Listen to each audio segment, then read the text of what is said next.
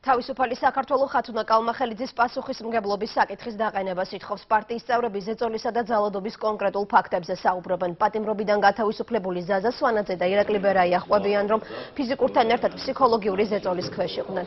პარტია თავისუფალი საქართველოს სახალხო დამცველს, უფლებადამცავ ორგანიზაციებსა და დიპლომატიურ კორპუსს სასწრაფო რეაგირებისკენ მოუწოდებს. შეგახსენებთ, რომ სვანაძე და ბერაია 29 მაისის აქციის დროს გზის გადაკეტვის გამო დააკავეს და ერთთვიანი პატიმრობა შეუფარდეს. ხოვებ მათ არ აქვს დანაშაულება. ერა გარემოშიც მოხვდი ეს იყო წამების მაქსიმუმი, რაც შეიძლება ფიზიკური შეურაცხყოფიდან დაწყებული წვერები ხელით აგვაყუტეს, გვემხრებოდნენ ცემით, გაუპატიურებით და საერთოდ მე მსხვენია რომ ამ ქვეყნის მოყავარყე ვარ, ცირებრალდება, ჰიგიენა რო ჰიგიენის საშუალება რომ არ იყოს, ყველაზე ცირებრალდება, მთავარი ბრალდება არის რომ პოლიტიკური ნიშნით, იმიტომ რომ მე ვიყავი ოპოზიციონერი აქტივისტი, სახეში მაფურთხებდნენ. მათ იმ ნაზილებს არ ქონიათ არავითარი მორალური ნიშნის ხელი რო დაერტყათ, ანუ ყოველ საღამო შემოდიოდნენ ხოლმე.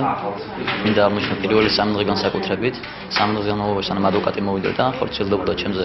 ფიზიკური და სიტყვიერი შეურაცხყოფა სცენენ მარჯვენა მთეკმული დაზიანებული მაქვს ამის ფონზე და მარცხენა მთეკმულზე კიდე გადადის უკვე ტკივილები